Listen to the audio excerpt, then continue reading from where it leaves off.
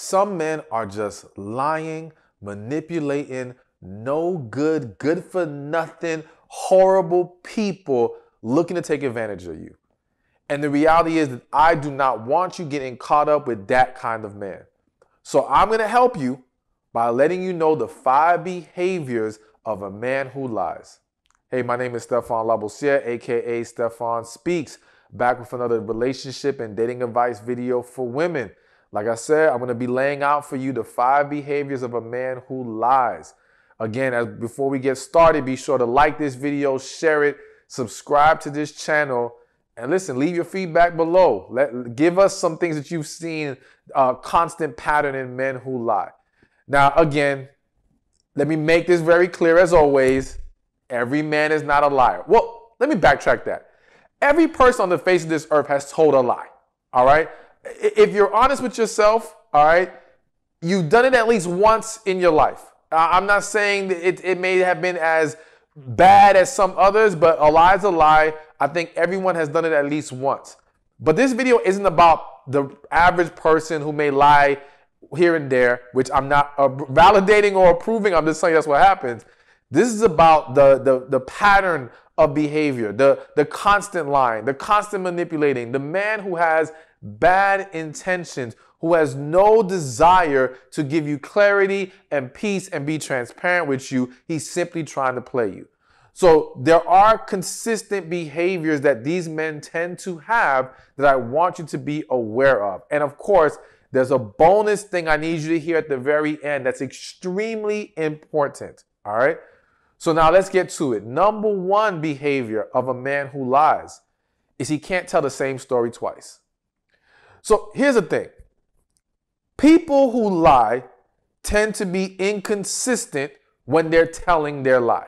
Now, don't get me wrong. Some people out there are very good liars and they get their story straight so that if they have to repeat it, they don't have any, any uh, uh, deviances from what they said. However, a lot of people are not great liars. A lot of people cannot keep up with the story they told. So when you ask them more than once, there's going to be variations in their story. Now, I don't want to sit here and say the minute, the second a man gives you a variation in the story, that he is automatically some horrible manipulating liar. I am saying it's a red flag. And if you follow my videos, then you know red flags are things to follow up on, to, are things to address, not to just cut them off and run. Let's dig a little deeper. We have to also take a, a full picture. If, if this man has been awesome in every way and he doesn't exhibit any of the other behaviors I'm about to list, because typically liars will exist at least two or more of these behaviors. But if he doesn't ex- exhibit, uh, if, if he doesn't engage in any of these other behaviors, then it is very possible that this is just you know, an isolated incident. Maybe he forgot a certain detail that he remembered the second time. Possible. But again, pay attention to their ability to be consistent with their story. Now, I don't want you to ask them five times because then that looks really bad.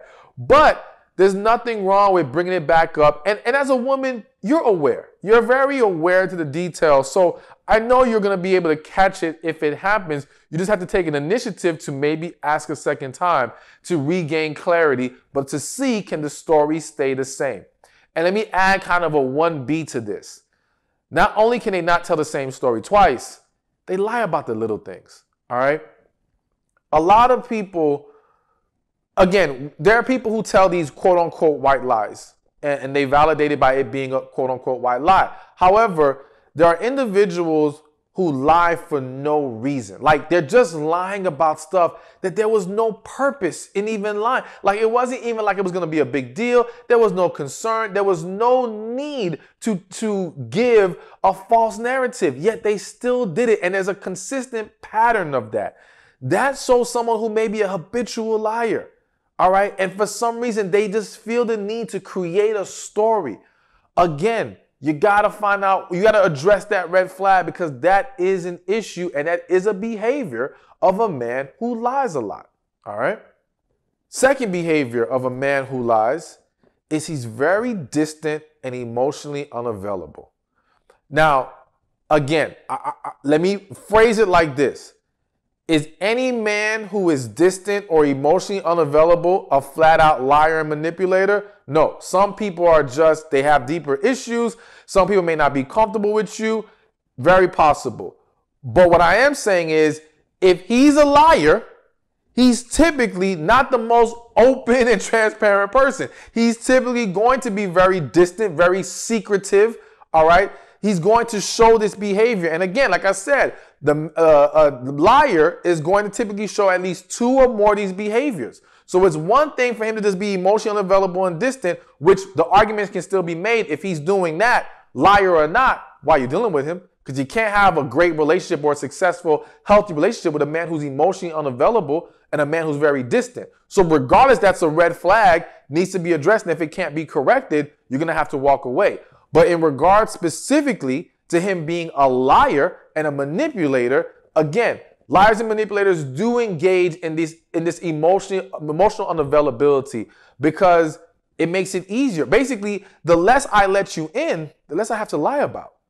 The less I have to even come up with different stories. It's easier just to shut you out and, and keep things in secret. So I don't have to try to explain it. And then when you try to ask me, why don't you let me in? I can deflect, I can throw all kinds of different stories at you. I can somehow still end up with not letting you in.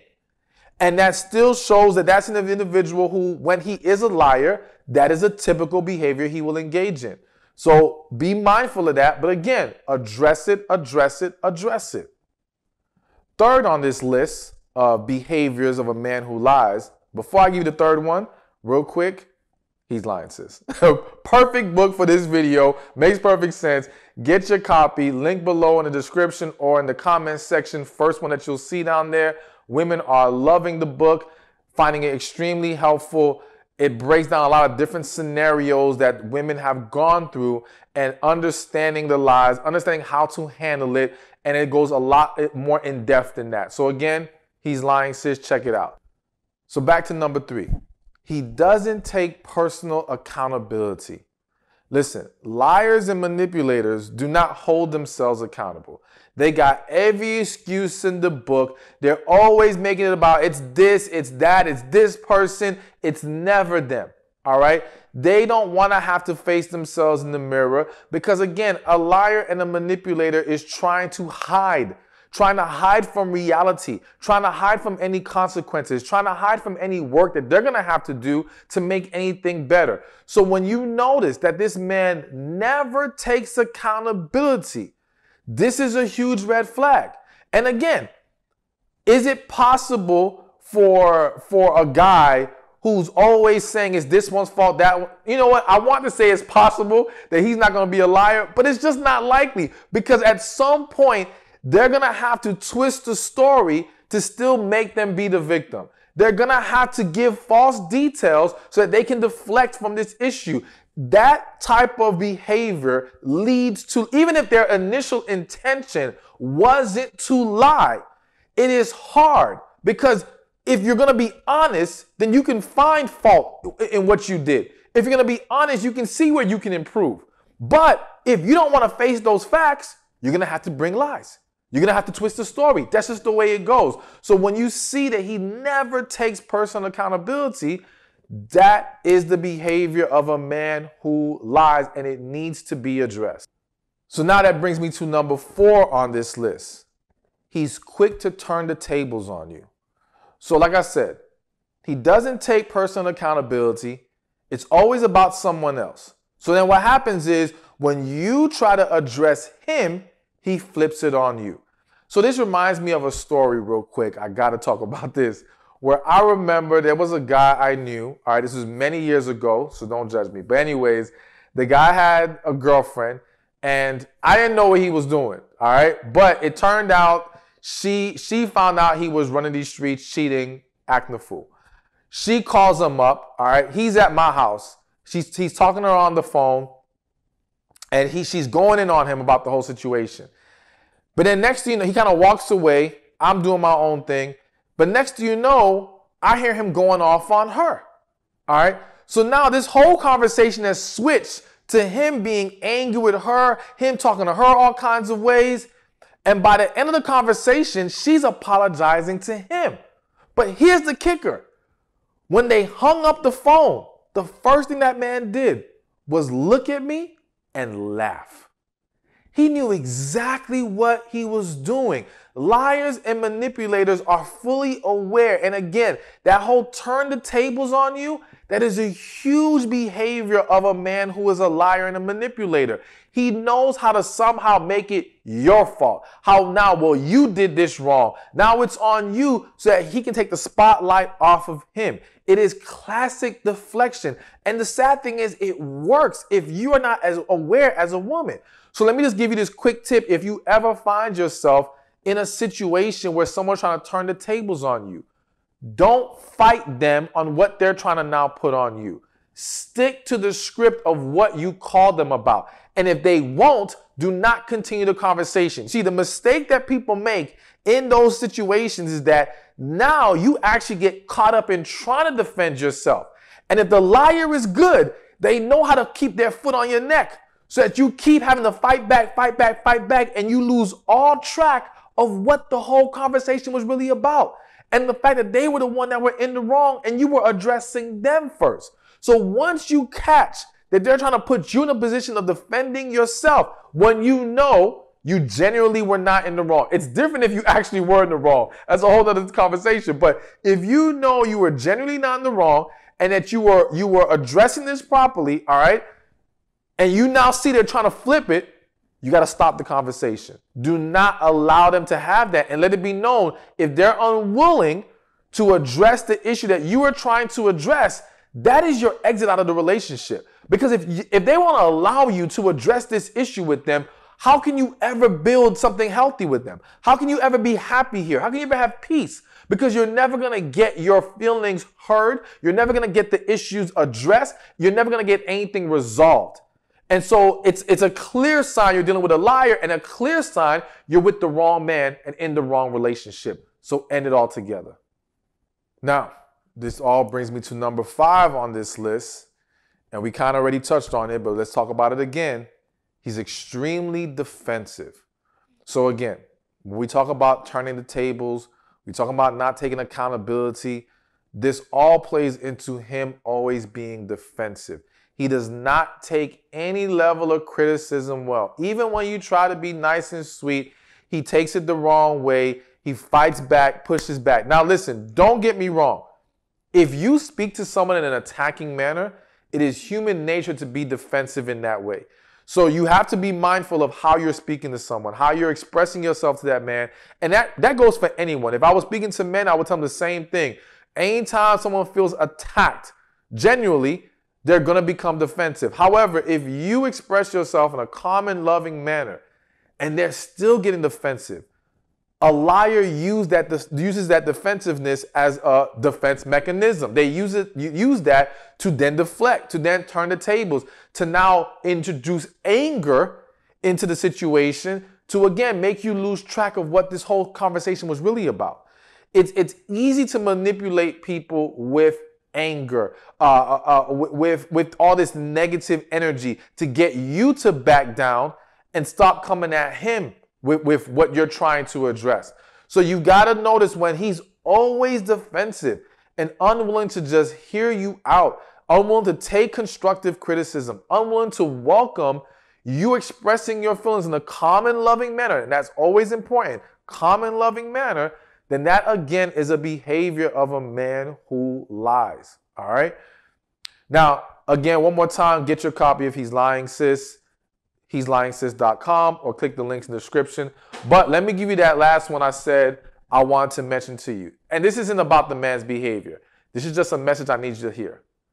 Trust your intuition. At the end of the day, I can lay out for you all these behaviors. I can lay out for you even some more behaviors. And, and again, I remind you, I want you to address it, not just cut them off the first sight of anything wrong. However, your intuition knows best. The reality is that so many women have found themselves in the wrong relationship because they ignored their intuition. So many women have found themselves wasting their time with a man that they knew from hell, conversation number one, that he wasn't it because you ignored your intuition. Women are in marriages feeling stuck because they ignore their intuition. Women have baby fathers who they hate. I hate to use that word, but it is what it is because they ignore their intuition. There are so many ramifications, so many negative consequences of simply ignoring what you sense from within. Now, let me make something really clear the difference between intuition and fear. Fear is your logic in your mind breaking things down, all right? And you're analyzing and you're coming to your conclusions. Intuition needs no logic, needs no analyzation. It just feels, it just knows, it just senses. So sometimes the man may have not done anything wrong, but if in your spirit you just know you don't belong there, listen. All right? And, and, and, sometimes, this may sound crazy, sometimes he may make a mistake. He may do something wrong. But your intuition is telling you, don't walk away from this man yet. And I'm going to tell you to listen to that. As crazy as that may sound, because it may be a, it may be your spirit telling you this is a fixable issue. But you don't want to let your fear dictate your actions. You don't want to let your fear dictate how you approach this situation and which way you go with this. You want to make sure you tap into your intuition and to go even deeper than that, which I believe is all connected, talk to God. Pray about it. Ask God, should you be dealing with this man? Ask God if there's any more digging that needs to be done. Ask God how to handle the situation. If you believe in God, and you uh, include God in other aspects of your life, then don't uh, eh, don't don't leave Him out of your relationships. Don't leave Him out of your dating life. If anything, you need Him even more than ever in those aspects of, of your life. So please talk to God, pray, listen to your intuition, and let that guide you more than anything. Hey, thank you for watching this video. Be sure to check this one out right here, and I'll see you there. The reality is this. If he's saying let's go with the flow, that's saying there is no vision, there is no plan in this situation. There is no intention with this situation, at least not what he wants to convey to you. That